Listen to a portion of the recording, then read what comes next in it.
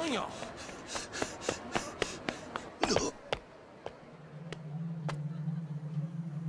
お疲れ真島ちゃん。さよちょっとの間蒼天堀からお前の姿が消えたって報告があってな。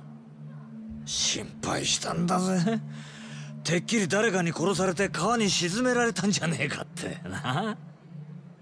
留置場の西谷に会いに行っとったんやへえ。わざわざ留置所にまで足を運ぶなんて仕事熱心じゃない。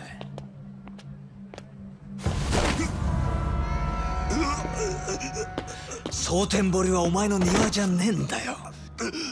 檻なんだよ檻。ホテルでさえ出かける時にはフロントに一声かかるよな。檻ん中のお前が何黙って出てんだよ。なあなあ。でよそんなに急いでどこ行くつもりだったんだ？もちろんあんたに報告しに来とくや。だよな。よかった。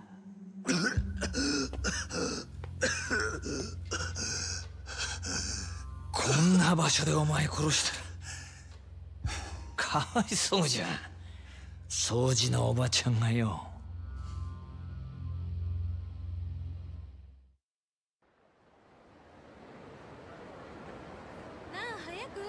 で西谷に会ったってことは聞き出せたんだよな。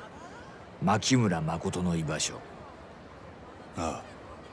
せやけど誠を奪っていった白いスーツの男は西谷とは関係あらへんかった。誠を奪ったのは日教連のセラっちゅうやつや日教連。大門は隠しとるが東上会の直系組織。東上会？島野の兄弟と同じ。西谷を雇ったのも東上会や。堂島組の人間やった。じゃあ東上会の勢力が3つも牧村誠を狙ってるってことか。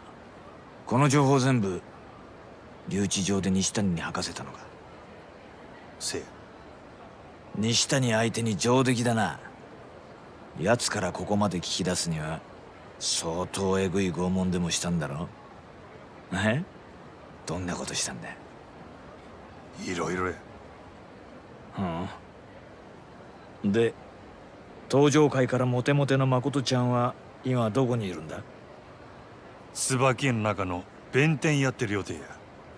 そこに日教連がアジと構えとるらしい椿園ね。日教連って連中も目の付けどころがオツじゃないの。どういう意味や？そりゃお前牧村誠みてえな女の子が泣いて歩いてても違和感ねえからな椿園は。あ？行ってみりゃわかるって。それじゃあ早速行くとするか。ななんやあんたも行くんか？犬を一人で散歩に行かせる飼い主がいるか？いねえだろ？お前が蒼天堀から出るときは俺も一緒なの。分かった？